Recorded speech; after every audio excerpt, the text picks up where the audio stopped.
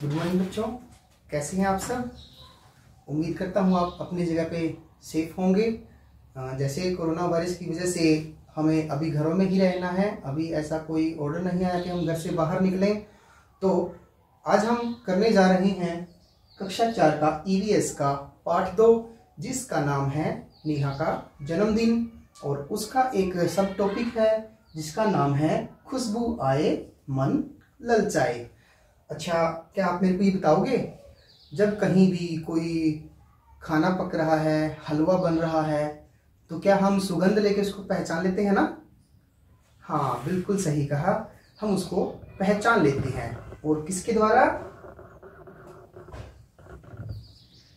अपनी नाक के द्वारा। ठीक है? ये हमारी ज्ञानेंद्री है। पाँच ज्ञानेंद्रियों में से ये एक है। अच्छा ये बताओ, हमने कल जो किया था, उसमें कौन सी ज्ञानेंद्री थी? कौन सी थी? हाँ कान की, ठीक है? कई चीज़ें जो हैं हम, सुनकर, देखकर, छूकर, चखकर और सूंघकर पहचान सकते हैं। इनसे जो हमारा जो ज्ञान है, वो इसमें वृद्धि होती है। तो आज हम करेंगे खुशबू आए, मन ललचाए, ठीक है? तो उम्मीद है आपके पास बुक होंगी। अगर नहीं है तो कोई बात नहीं, हम यहाँ से पढ़ रहे हैं, बुक में से ही पढ़ेंगे तो आप उसको ध्यान से सुनेंगे और उसको नोट भी करते रहेंगे। ठीक है? जैसा कि इसमें पहली लाइन दी गई है कि नीतू दीदी ने कहा कि खाना तैयार हो गया है। अब नीतू दीदी ने खाना बनाया है और वह खाना तैयार हो गया है। यह खाना मेज पर लगा रही थी। उसकी चूड़ियों की जो है खन खन की आवाज़ आ रही थी और विनय भैया ने यह आवाज़ सुनी। तो किससे सुनी? कानों से यस किससे सुनी? कानों से।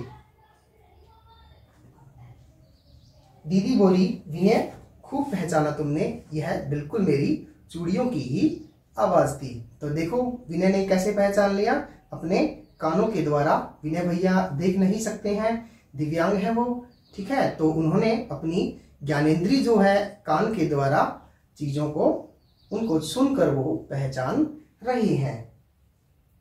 अच्छा खाने में आज बहुत सी चीज़ें थी और उनमें से खुशबू आ रही थी। तभी ज्योति ने कहा, दीदी, क्या आपने हलवा बनाया है? और उसकी दीदी उसको उसका जवाब सुनकर हैरान हो जाती है कि ये क्या?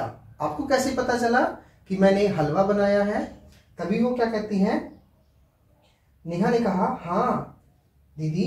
ज्योति बोली, हलवे की बहुत अच्छी खुशबू आ रही है। जब हलवा बनाते हैं हम भी कहीं, जैसे हमारे स्कूल में भी बनता है मिड डे मील में तो उसकी खुशबू से ही बच्चे पहचान लेते हैं कि आज उनके मध्याह्न भोजन में क्या बना है। ठीक है? तो कौन सी ज्ञान इंद्रिय का प्रयोग करते हैं वो?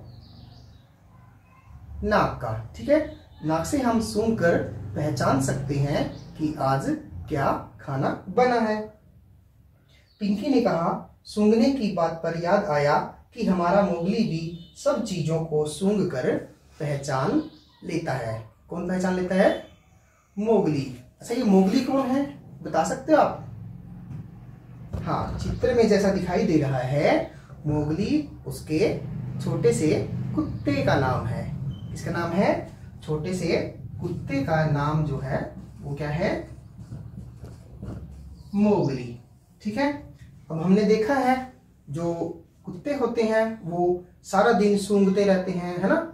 वो अगर कहीं कोई ऐसी चीज़ है तो उसको वो सूंघ कर, अगर कोई ज़मीन के अंदर भी हमने कुछ गाड़ दिया है तो उसको वो सूंघ कर पहचान सकते हैं। अच्छा आपने फ़िल्मों में तो देखा ही होगा, कई बार फ़िल्मों में जो पुलिस है, वो कुत्ते लेकर जाती है, और वो किस लिए लेकर जाती है? ताकि वो सूंघ कर कि कहीं कोई क्या रखा है वो उसको पहचान ले। कुत्ते की जो ज्ञान इंद्री है सूंघने की, वो क्षमता इंसानों से बहुत ज़्यादा होती है। तो आगे है इसमें, पिंकी के प्यारे कुत्ते का नाम मोगली है। मोगली ऐसा जानवर है जो बिना बोले ही अपनी भावनाओं को व्यक्त करता है। ठीक है? तो ये हमारा जो खुशबू आए, मन ललचाए टॉपिक यहीं पर समाप्त होता है। इसके जो प्रश्न बनते हैं, वो शब्द आपने कॉपी में नोट करने हैं, ठीक है? मैं एक एक करके पढ़ रहा हूँ। आप उसको नोट करिए और उसको सोल्व करने की कोशिश कीजिए। अगर आपको फिर भी कुछ समझ ना आए तो कोई प्रॉब्लम नहीं, मैं हूँ ना, ठीक है? हम सब यहाँ बैठे बैठे घर बैठे ही जो सरकार ने अभियान चलाया है, घर से पढ़ाओ तो हम सब टीचर्स जितने भी हैं, हम आपको अपने घर से ही सारा कुछ सोल्व करके देंगे, ठीक है? अपने अपनी कॉपी में वो नोट डाउन करना है और उसको अच्छे से लर्न भी करना है। तो पहला प्रश्न है, मोगली और किस किस चीज़ों को सूंघ कर पहचानता होगा? हमने बताना है कि मोगली जो है, कुत्ते का नाम है और कुत्ता जो है, किन किन चीज़ों को सूंघ कर पहचान सकता है? उनमें से आपको दो या तीन के नाम बताने हैं। जो अगला प्रश्न है, क्या आपके पास भी कोई पालतू जानवर है?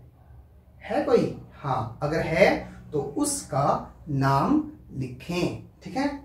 अगला जो प्रश्न है कि जब उसे भूख लगती है, जब उसे, जो आपने जानवर को पाला है, जब उसे भूख लगती है तो वह कैसे अपनी भूख को व्यक्त करता है? जैसे कुत्ते होते हैं जो वो अपने पाँव में लिपट जाते हैं, है ना? कुकू करने लगते हैं। तो आपके पास भी जो जानवर है, आपको बताना है कि वो किस प्रकार खाना, जब उसको भूख लगती है, किस प्रकार वह खाने के लिए आपको कहता है। तीसरा जो प्रश्न है, चौथा, वह हमारे प्रति प्यार कैसे जताता है? जो आपके पास जानवर है, उसका बताना है कि वह कैसे प्यार जताता है। उसके बाद जो हमारा प्रश्न है, जब तुम घर से बाहर जाते हो, जब हम घर से कहीं बाहर जाते हैं तो वह कैसे रिएक्ट करता है? यानी कि आपके साथ कैसा व्यवहार करता है? आपके पाँव में पड़ता है या आपसे कुछ ऐसा वो दिखाता है कि आप बाहर मत जाओ तो आपने कॉपी में नोट डाउन करना है। जो हमारा अंतिम प्रश्न है, जब कोई दरवाजे पर अजनबी व्यक्ति आता है, अजनबी मतलब जिसको हमारे जो जानवर हैं वो नहीं जानते, ठीक है?